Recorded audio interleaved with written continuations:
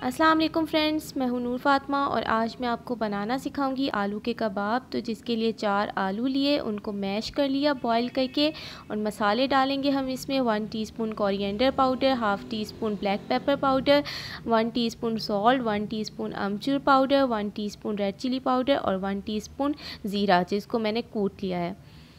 दो हरी मिर्चें हम इसमें डालेंगे, चॉप करके और कोरिएंडर लीव्स डालेंगे, धनिया पत्ता और हमें इसके लिए ब्रेड क्रम्स और अंडे की ज़रूरत होगी कोटिंग के लिए। आलू में हम सारे मसाले डाल देंगे, हरी मिर्च डाल देंगे जो हमने चॉप करके रखी थी और धनिया डाल देंगे।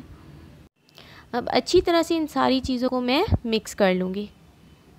देखें, अच्छी तरह मैंने इनको मिक्स कर लिया और मिक्स करके मैंने इसको टेस्ट कर लिया है। मुझे इसमें नमक कम लगा है तो मैं इसमें थोड़ा सा नमक डाल दूँगी। आप भी टेस्ट कर सकते हैं और अपने हिसाब से नमक और मिर्चें डाल सकते हैं। अब मैं इसको मिक्स कर लूँ। अब मैंने एक एग ले लिया, उसको बीट कर लिया है। अब मैं इसमें थोड़ी सी रेड चिली पाउडर दो चुटकी जितनी डाल रही हूँ और थोड़ा सा मैं इसमें नमक डालूँगी और हम इस एग को कोटिंग के लिए यूज़ करेंगे। एक या दो एग की ज़रूरत पड़ सकती अब इस तरह से मैं कबाब बना लूँगी सबसे पहले। तो इस तरह से आपने मिक्सचर ले लेना है और उसको कबाब की शेप दे देनी है। अब हम कबाब की कोटिंग करेंगे। तो सबसे पहले हम इसको अंडे में डिप करेंगे। अच्छी तरह से हमने डिप करना है।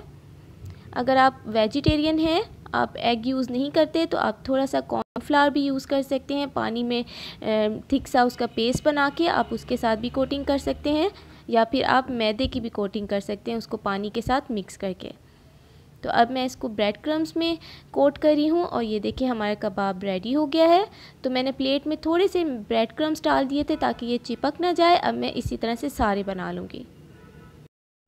इस तरह से मैंने सारे कबाब बना लिए हैं। आप इनको फ्रीज़ भी कर सकते हैं। तो अब हम इनको फ्राई करेंगे। घी को मैंने गरम कर लिया है, आप अपने हिसाब से घी लीजिएगा, कम या ज़्यादा। तो मैंने अब इसमें कबाब डाल दिए हैं और मीडियम फ्लेम करके हम इनको दोनों साइड से गोल्डन कलर दे देंगे। साइड को चेंज कर दिया है, अब मैं इनको कलर दे दूँगी। कबाब बिल्कुल रेडी हो गए हैं, इससे ज़्यादा आपने इनको कलर नहीं देना। अब मैं इनको निकाल लूँगी।